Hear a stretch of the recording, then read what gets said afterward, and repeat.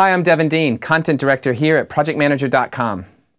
Hi, welcome to today's whiteboard session. In a departure from tradition, I'm not going to talk about project management topics. Instead, I'm going to go over a couple of process improvement methodologies that have been out in the marketplace for about 50 or 60 years in an effort to maybe just highlight some of the key points from each of those methods that you might want to take on as your own when you're looking to improve your processes on your projects. If nothing else, it'll help you score better the next time you play boardroom, boardroom bingo.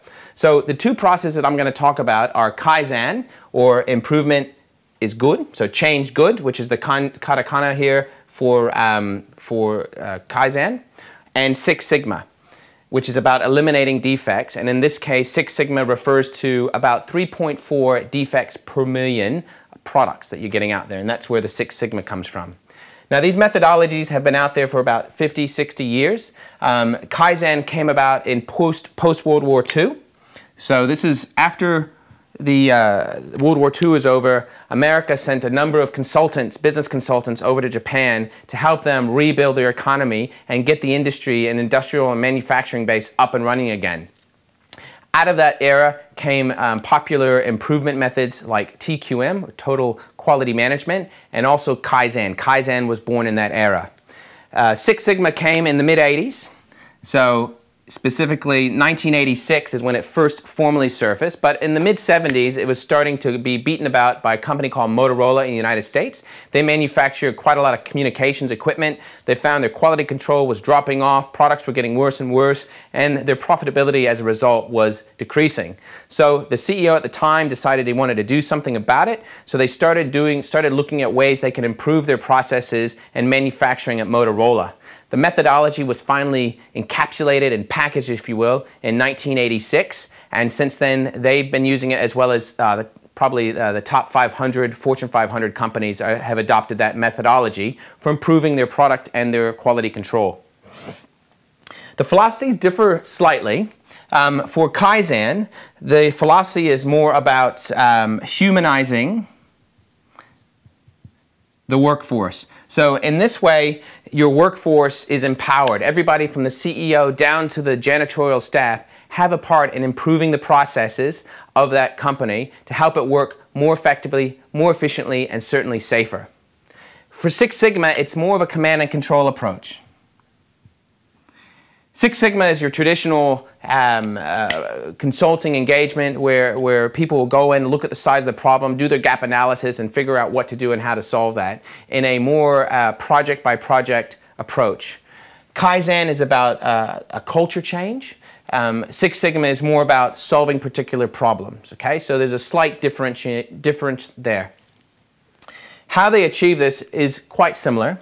Um, in this case, for Kaizen, they achieve this by having executive leadership all the way down to, as I said before, the janitor staff um, being part of that process, partaking in the improvement process. In Six Sigma, certainly you have to have that executive mandate as well.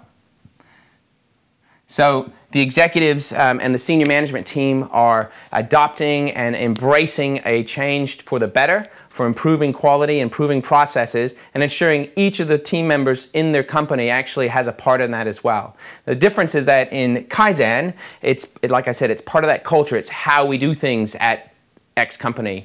Whereas in Six Sigma, there are initiatives. There are Six Sigma initiatives where they're actually looking to drive improvement, but again, every team member has got that participation and that responsibility. But in primarily in Six Sigma, you're looking at it more of a project by project basis.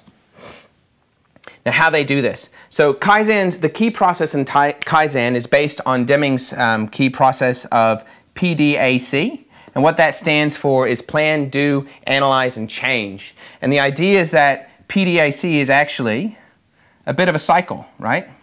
So it's a repeatable and an iterative cycle where you are doing your plan doing, analyzing, changing. Then um, do that once for a particular um, problem that you're having, and then you go on and you do it again.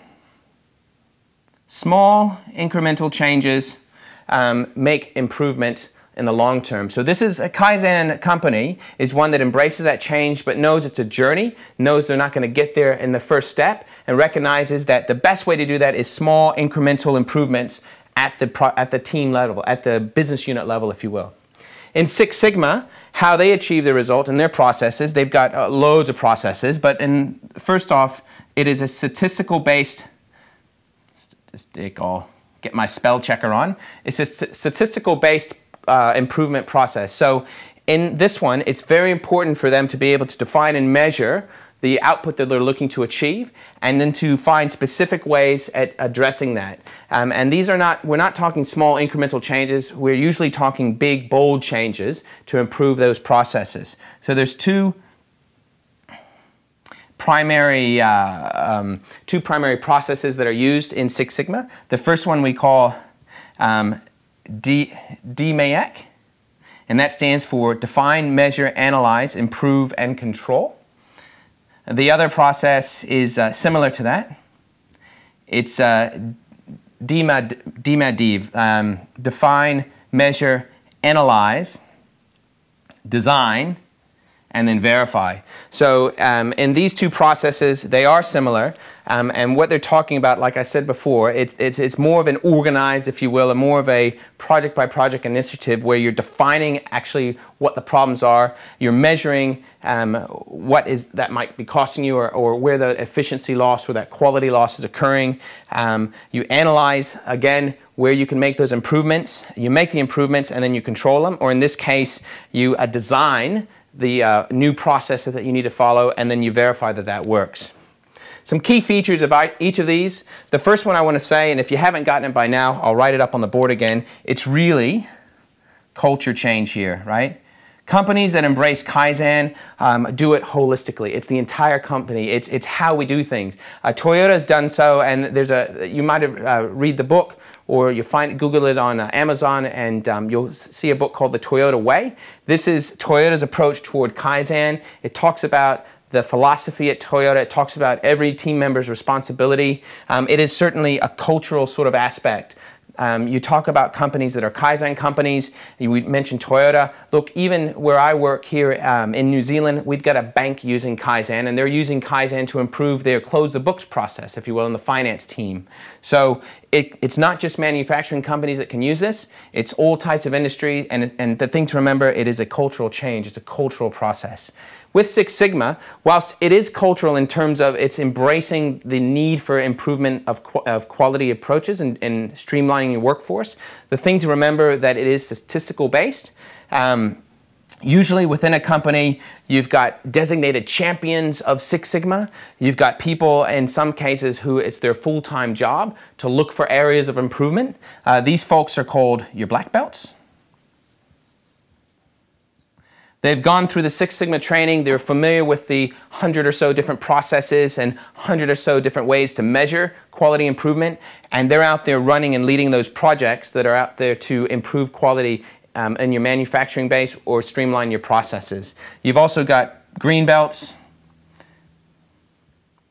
who might be, as an example, it might be a side responsibility for a department head to be a green belt in Six Sigma. So they've got a key part in the Six Sigma project. They're there at the operational level where the rubber meets the road to actually enact some of those improvement processes, but they're not driving that change. That's what the black belts are doing. You've got a series of other colored belts um, just comprising different Six Sigma project teams to try and improve that process as well. So they use the um, uh, champion approach where you've got a designated person who's there to deliver Six Sigma projects. So this in a nutshell is a, is a quick chart on distinguishing the different features between these quality improvement programs. I suggest that you yourself, if you're interested in learning more about them, and certainly I would take that up, um, Google it uh, on the internet or go to your local library and pick up a couple of books. Certainly each of these different quality processes can give you some ideas on your own when you're running your project teams on how to improve your efficiency or streamline uh, your workforce and also improve the quality products that you're producing from your projects. For more project management whiteboard sessions and all your project manager needs, come see us at projectmanager.com.